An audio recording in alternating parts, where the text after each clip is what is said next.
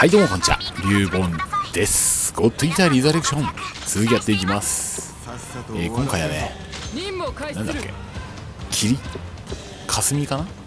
というねミッションで、えーちょっとねかなりえー、っとねちょっと待って。何も準備しとらんな。はい。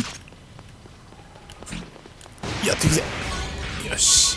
あーちょっとバージュラからやれ。ばよかったかな。多分ねよいしょ。おそらく耐久力えっ、と攻撃力？ん？体力の関係上ねおそらくねバジラからやった方が良かったかもしれない。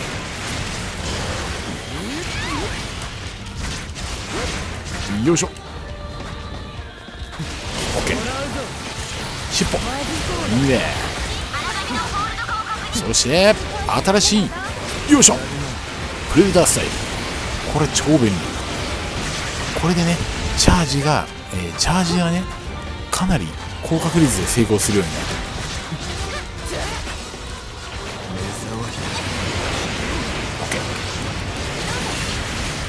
OK でこのね本当にあの俺の今のプレデタープレデタースタイルのねおかげでちょっと待ってちょっと下行こうか。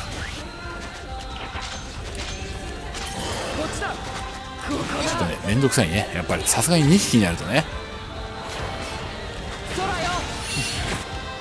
もっとこっちだ。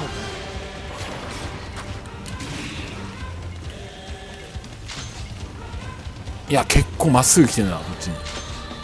ここであいつがどう来るか。まっすぐ来てる。よし。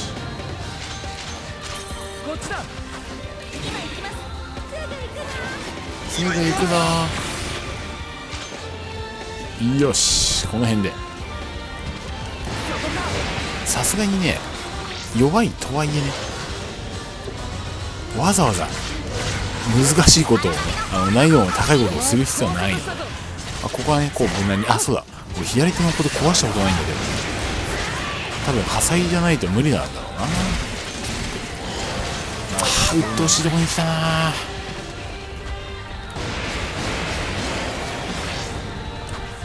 うんいや多分ねこれはねバジラ先だよ。普通に考えて。失敗したな。あっちの方が早く死ぬからね多分。ああまあいいわ。OK うんもう気づいた。来たな。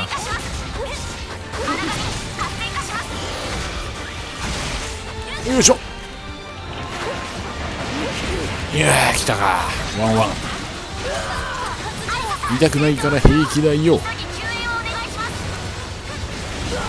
痛いな。プリビティマーダか。邪魔だな。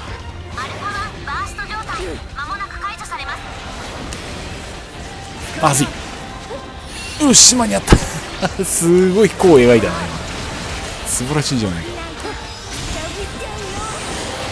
食べちゃうよ。まああれだな。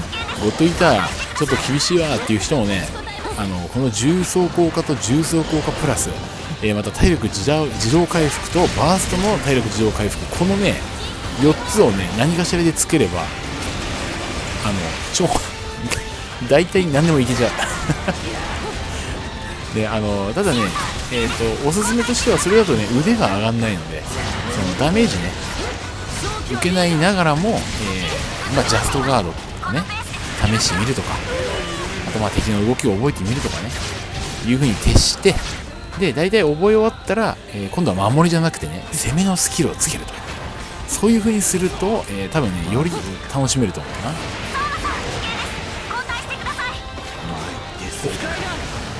神だよし。こいつはよろしくないんじゃないか。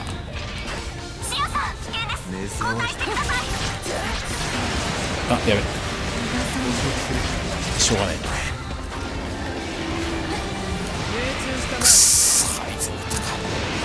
よし。なかなかねあの自動でね敵を向くモジュールつけてるとあの思ったやつにね自分の想定している敵に攻撃を当てることができないからそれが弱点なんだよ。複数討伐だとあまり向いてないと。思うただめちゃくちゃ強いから。な 何でもいいんだけどね。そこまで強くない。うんいかないか。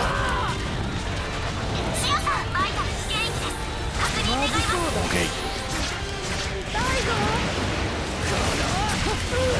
いいうっとうしいだけだ。どけ。わそんな先行くんだ。邪魔じゃんお前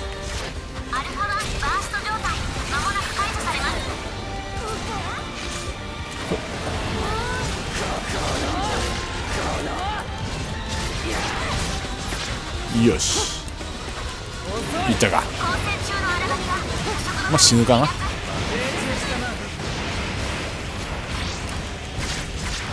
怒ってる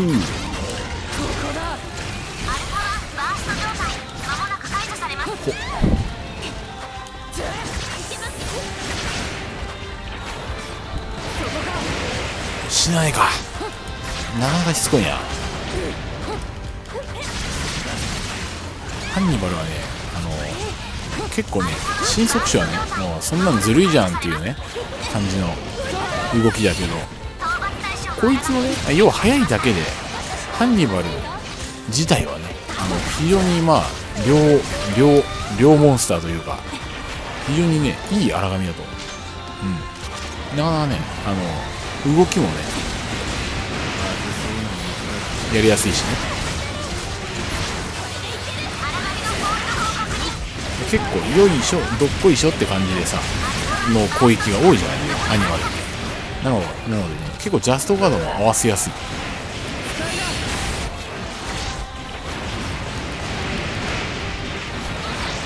れはなこれはまあ武器のおかげだけどな。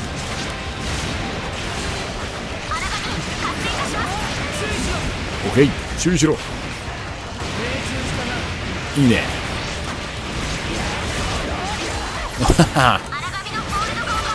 厳しそうだな。オッ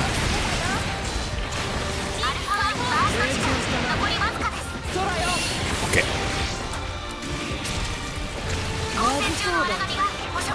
ー。うん。これはちょっと2発分貯めようかな。まあいいか。あ死んだ。